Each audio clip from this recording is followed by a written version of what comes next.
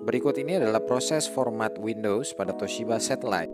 Begitu layar hidup, tekan F2 untuk masuk ke menu BIOS. Tidak semua komputer memiliki fasilitas shortcut layaknya komputer sekarang, biasanya tekan F5 untuk langsung mendapatkan pilihan boot operating system dari media yang mana. Oleh karena itu, pada kesempatan ini di menu BIOS kita perlu memastikan bahwa Flash disk menjadi urutan yang pertama sebelum media-media yang lain dibaca sebagai bootable drive oleh komputer.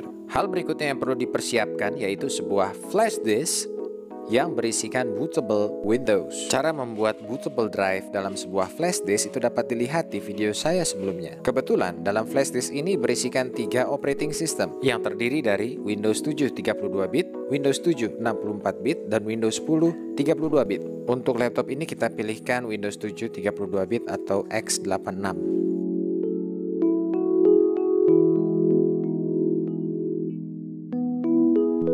Apabila sudah sampai di menu ini, kita tinggal klik Next. Selanjutnya saya pilih Windows 7 Professional N. Pilihan ini merupakan pilihan di tengah-tengah di antara Windows yang kapasitasnya paling berat dan yang paling ringan.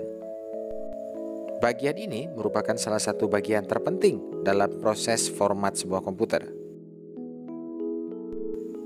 Klik partisi yang pertama yang berisikan System Reserved atau pada kasus ini Disk Partition 1 System Reserved, lalu klik Delete. Selanjutnya kita perlu memastikan bahwa data yang kita simpan itu berada di partisi yang terpisah dengan partisi Windows. Pada kasus ini, partisi tersebut diberi nama data. Partisi selanjutnya yang perlu kita hapus adalah disk null partition 1.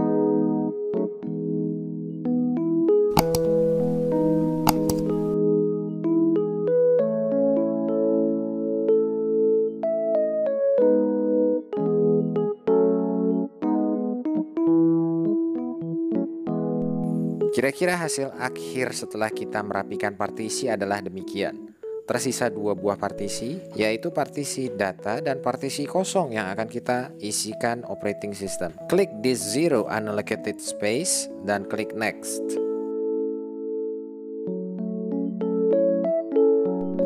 Selanjutnya yang perlu kita lakukan hanyalah menunggu.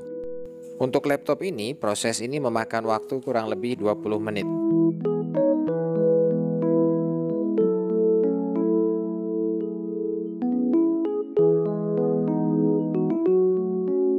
Pada proses ini, beberapa kali komputer akan termuat ulang atau restart secara otomatis.